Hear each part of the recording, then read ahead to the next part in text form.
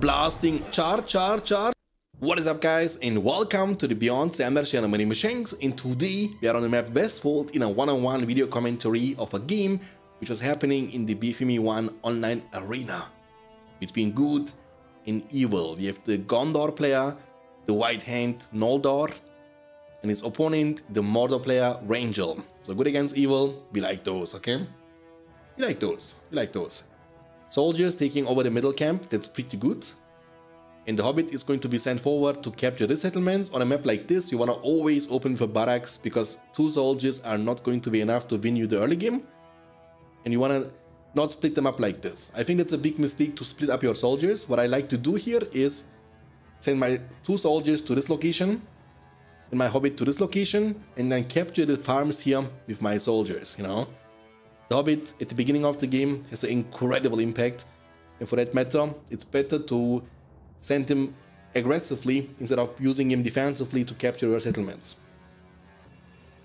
It's a 1v1 situation, Orc should be losing this one, no problemo. He has Orc pit opening, he needs more and more Orcs. It's a 1v2 situation here and he has heal, he needs to use it very very soon. But the second he will be using heal, which he didn't, um, he didn't use heal actually. I think he's saving this for the soldier. Could have saved this soldier too, by the way. With the heal, a soldier can 1v2 orcs. No problemo. Even with the Eye of Sauron, should be able to 1v2 this. Now he needs to save this soldier. But you need to heal it when one guy is dead. Now he's gonna heal it. That's good. In the meantime, Hobbit is taking over the farms. The Gollum is lurking around, but he won't be able to find anything. Gollum could be sent to this location to capture the settlement over here. But I think he's looking to pressure some of the soldiers is they coming out. You wanna stall the game, you wanna be buying time, and Gollum is good for this. Gollum can't win the fight against soldiers, but he's faster than them, so you can pressure them, hit them a bit, and whenever they turn to fight you, you can disengage, and do this over and over again, just to delay them before they can make it to your settlement.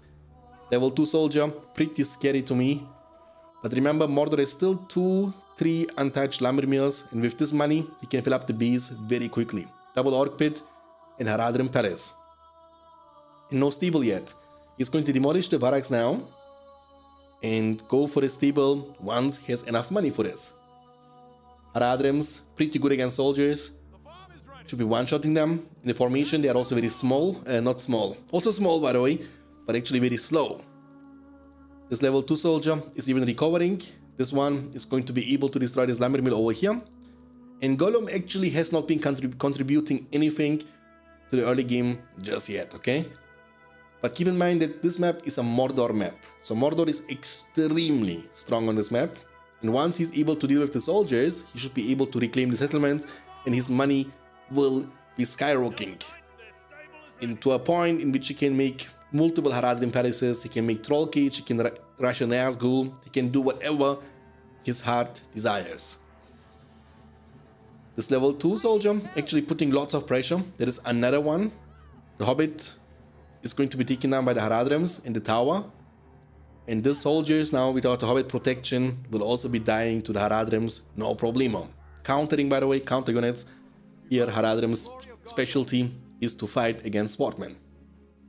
Okay. In the meantime he's creeping this, that's gonna be the first creep of Mordor. But maybe Gondor can actually interfere and stop him from doing this, okay? And one of the win conditions here when you play Gondor against Mordor is Gondor is to deny your opponent to capture these outposts, which are very tanky. And without, without upgrades, you can't destroy them, and Mordor will get free money, and he will put more pressure on you by building orc pits around the outpost and pressure you non-stop, okay? So as Mordor, you want to get the outpost. As Gondor, you want to deny him from doing that. That's the early game, mid game in this matchup on this map. He's going to buy this and immediately put them inside the outpost. And they are having like a crazy long range, these Haradrims. And with the Haradrims on top of that, should, they should be able to creep both of the creeps. No problemo. Bad trample there, holy. The, you know, the Haradrims, oh my god, he killed him, whole battalion. The Haradrims are very unique unit. They are only dealing revenge damage when they die. When you trample them and they don't die, they also don't deal revenge damage. They are dealing revenge damage upon death. So they die, they take you with them, you know?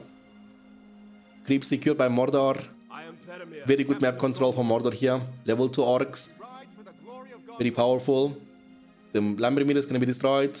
Industry has been used. Mordor's money is looking very good. It's going to look much, much better in a bit. He has double outpost control now. He will be buying this one as well. And with double outpost, he has actually triple outpost now. Three outposts out of four, which is super scary. Like, this guy is going to be super rich. Haradrim slowly but surely killing everything that is coming out of the cave and of the warp pit. And he didn't choose to capture this one just yet. These orcs are idle, they should be sent forward to keep pressuring. Bad trample into the soldiers of Rhûn. Taking lots of revenge damage from this one. And these pikemen are so tanky by the way, they are so incredible tanky.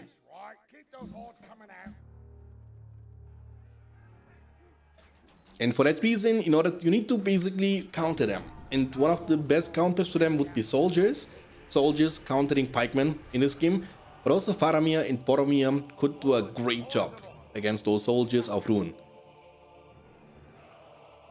Okay, so beautiful map control from Mordor, we like to see it. He's even trying to creep the troll there. Faramir was able to kill the troll. And Gondor will be capturing this one for himself. He has 3 power points in total in Gondor will be rushing Gandalf the White. Okay, he needs like one key to get his Gandalf the White up on the field. But it might be a little bit too late for this one, because Mordor, by the time Gandalf is finally approaching to the battlefield, will eventually have enough money to get his first Nazgul, or even worse than that, his Witch King. Outpost control, Rhûn soldiers, taking care of the Haradrim Palace, I mean this archer range, one archer will make it out in time. He will be placing them inside the outpost, hopefully. But he doesn't. And oh my god.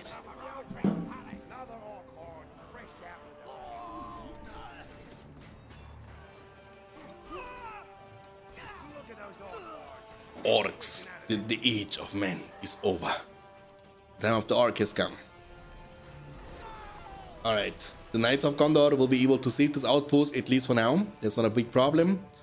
And we will have Gandalf the White very soon upon the field. So Gondor has been losing map control, left and right. But maybe Gandalf can be the savior this Mordor is afraid of. He has Gandalf and also the Grey Company. And very soon we have a Witch King upon the field. He has 6k, he's not gonna go for the Nazgul at this point anymore knowing that there is a Gandalf upon the field. Witch King is much more resistant to Gandalf's spells because a Nazgul will die to Easterlight and Wounding Arrow combination, but a Witch King won't.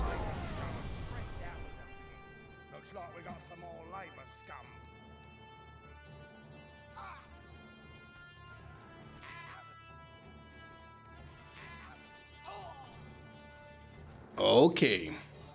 All right. Faramir uh, leveling up, that's good. But unfortunately, he has no Boromir. Boromir would be a better choice here because he's level 4. Later on, is going to be incredibly important and impactful. Because in order to deal with this Nazgûls and Witch King and Mumakils and Trolls, you don't need armor leadership, you need damage leadership. And the only possible way for Gondor to get this, beside this statue, is Boromir. Because both the heroes, Gandalf and also Faramir, give you armor. Do not come between the Nazgul and his prey. You fool. No man can kill me. Die now. My favorite hero, look at him. Witch King of Angmar in the level 4 knight is a Goners. Look at the minimap, boys. You see this or not? Like, Gondor is only one farm remaining under his... Two. But he's three. Okay, never mind. Three, three is not bad, but you need more than three. He's going for the marketplace, but he's poor. He's so poor. He's broke. Um, there comes the Witch King the pressuring the well and forcing the Gondor player to react to this. Offense is the best defense. If you want to keep your opponent busy, you want to put pressure on him.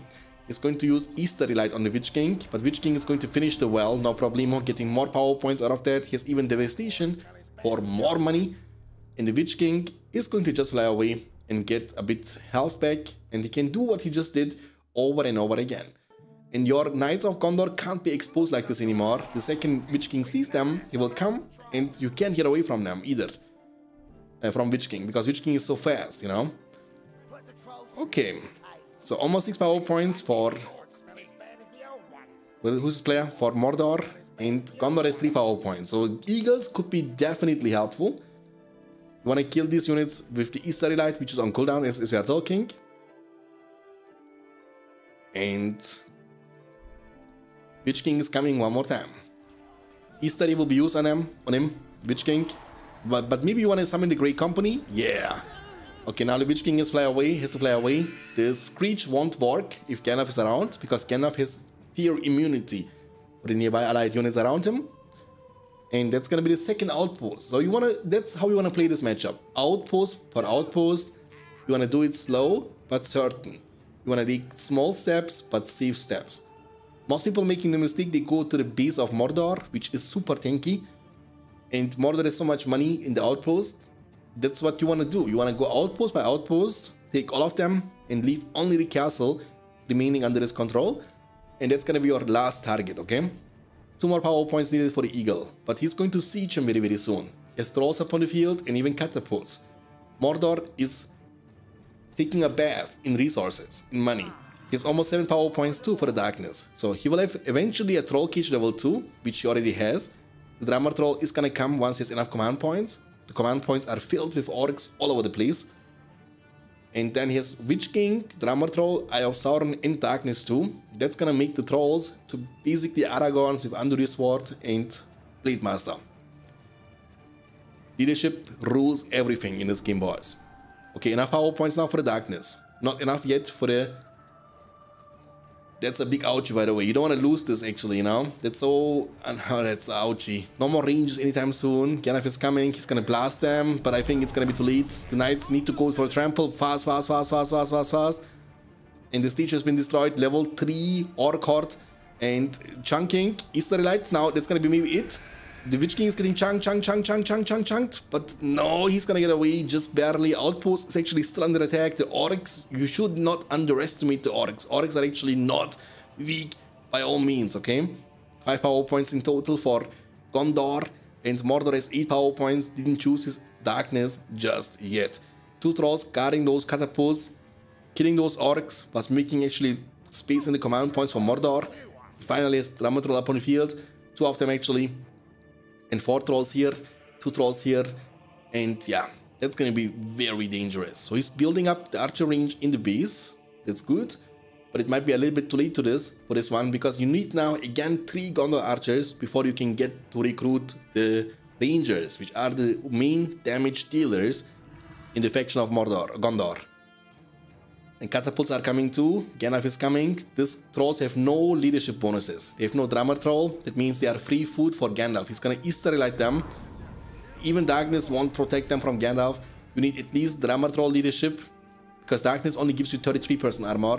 And you need the 50 from drummer. That's what you need to resist this. There comes the lightning sword. He will be missing the uh, troll. Archer range has been destroyed. And commitment at the outpost at the bottom side. So the outpost is exposed. There comes the Eagle special summon. Eagles will be able to farm lots of power points for Gondor though. The trolls can't deal with this. The darkness is so powerful.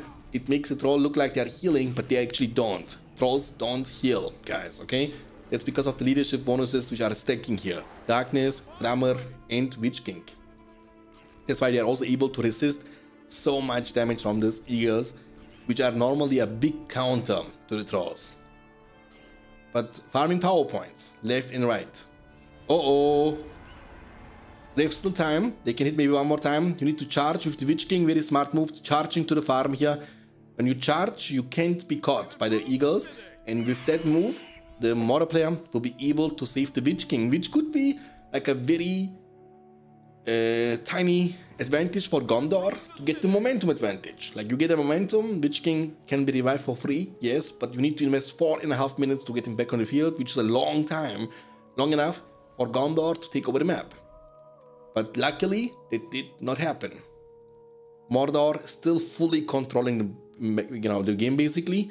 Gondor has one farm outside. That's all Gondor has. Two farms outside with this one in Mordor is No, he can make whatever he wants. His double troll cage, his siege works at the outpost, he demolished it.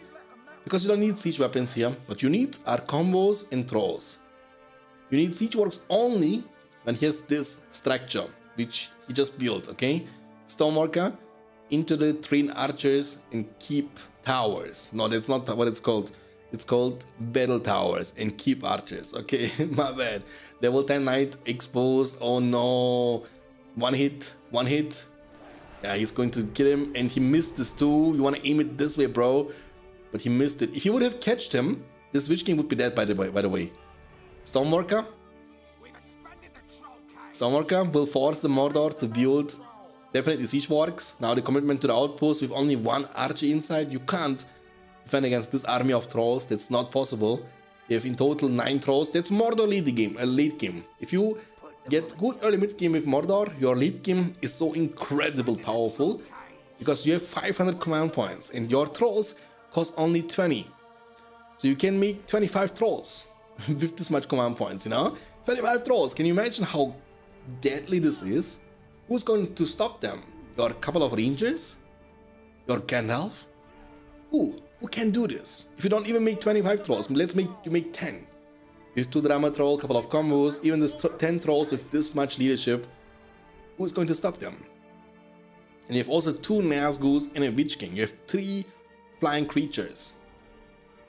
And so much diversity too. You can go for the Siege Works, you can go for the Mumakil Pen, he's going for triple Siege. Why? Because he can afford it. Devastation just to get a bit more money the siege will begin. And all we can say is, where was Gondor when Westfold fell? Gondor is right here. But where is Rohan? Rohan has failed us. Théoden King doesn't care about us. I mean, Gandalf is the only one who can hurt this guy. But again, as long as you can dodge the lightning sword, you don't need to be worried about anything.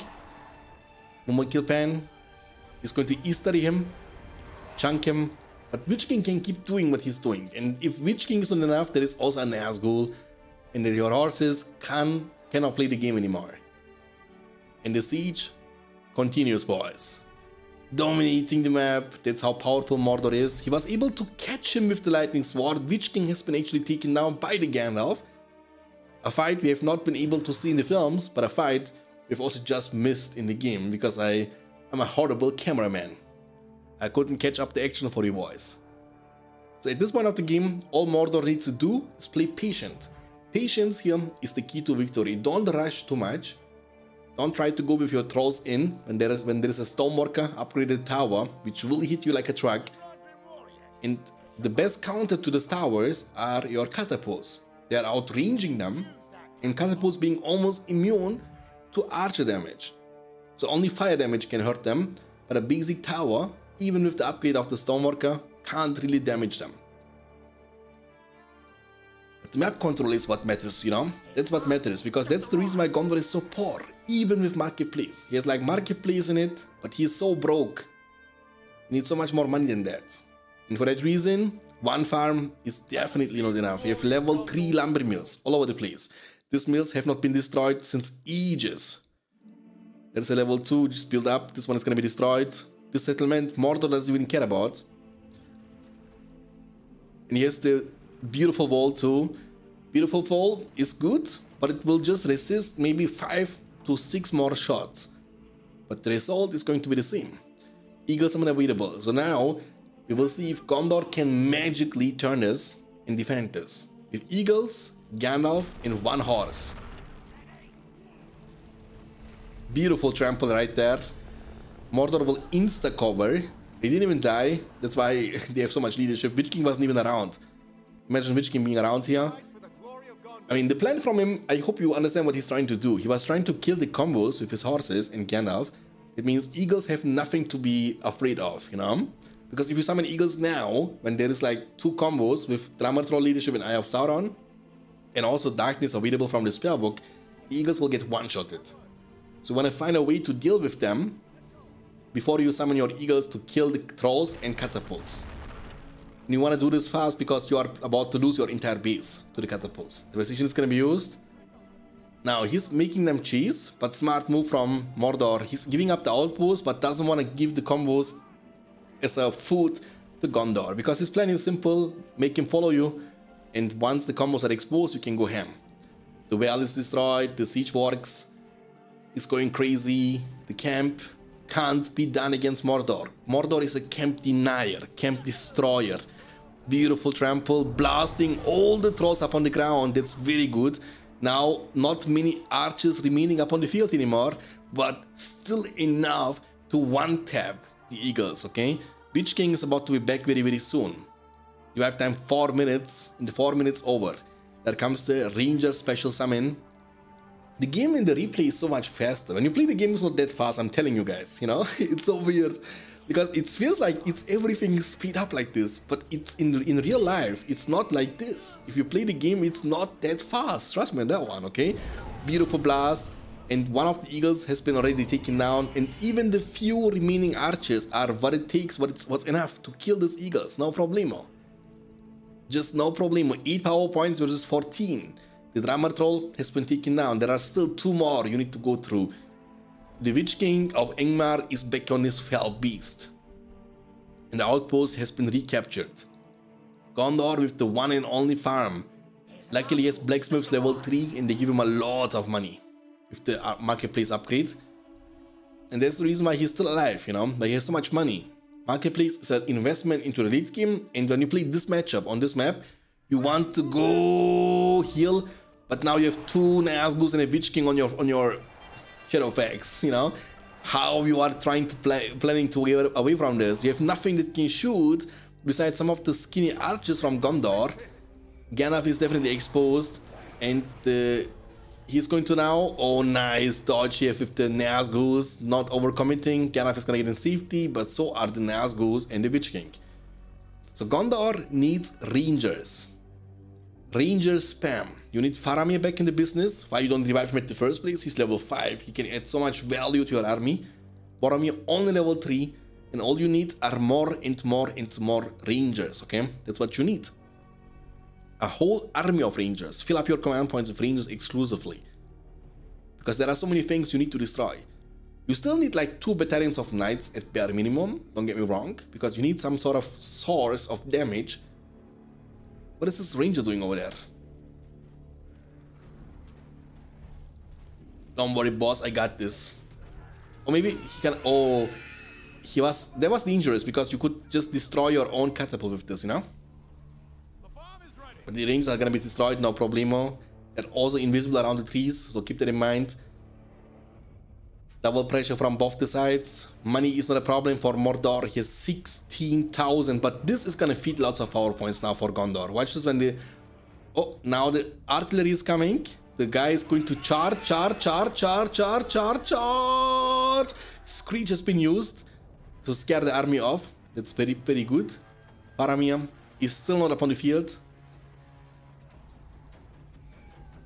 Easter Light will be used. And level 8.5 Gandalf and EOD unlock from the spellbook. Mordor still needs 5 full power points to unlock his own Balrog. But EOD can win you the fight, but can't win you the game if you have no outpost control. And if you have to use it defensively, which you need to do because you lost already 1, 2, 3, and about to lose the fourth part of your wall as Gondor. In each of these walls, you invest 2000 into to repair. It's a lot of money, and four of them means 8000. There comes the EOD.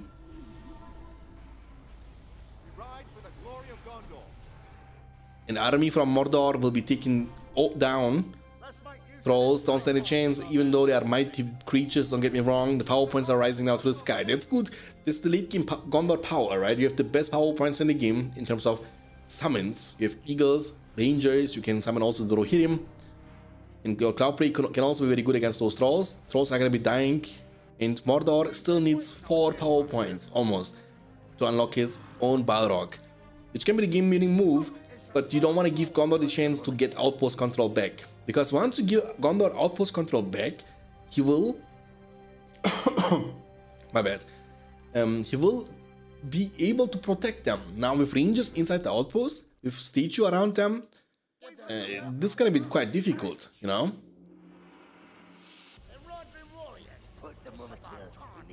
I think Mordor needs to realize, okay, I need to make, I need to stop making horses. Also need to make stop making Mumakils. Muma kills are my favorite unit of the game, don't get me wrong. They are very powerful, yes, but they are very slow. And what you need here at this point of the game is speed. And for that reason, a Mumakil costs you 40 command points. And that's the same amount of command points like 2 trolls would cost. And trolls can charge, run, non-stop. They can run and catch the archers. Mumakils can't do the same. So you want to make like 10 trolls with 2 drummer troll, make 2 combos and just go ham. Witch King has been slain. That's like mistakes over mistakes, and this can snowball into a massive disaster.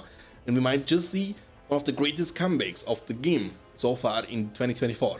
Okay, combos exposed. Only never mind. Has like a couple of trolls now. That's good. That's what you need. 17 power points. You want to get there as soon as possible. When you find yourself in a situation like this, all you need to do is take fights, even if they are bad fights, but take fights which you which can give you power points. Okay you want to get Balrog way before your opponent can summon the EOD for the second time. This is legit the key to victory in this situation. If he gets to summon the EOD for the second time before you could summon yours for the first time, it's like crazy win condition. Mumakil! Kill, kill, kill, kill, kill, kill, kill. Faramir, use one arrow. Okay, nice, he got away. Actually, with most of the army, did Boromir die? No, he didn't die. Just one arrow this. Okay, he got killed. Boromir almost level 4. That's gonna be a huge thing. The outpost at the bottom side is exposed, but now they will trade outposts. Here for Gondor, very important to demolish the statue and wall. Very important. Otherwise, Mordor is gonna get so many power points if you don't demolish them. Watch the power points you will get now. Boom. Watch this. Boom. You see, that's what you need to do. You need to demolish your structures, man. But he was focused at the top side. One moment kill was still able to get out. And only one more power point needed for the Balrog special summon.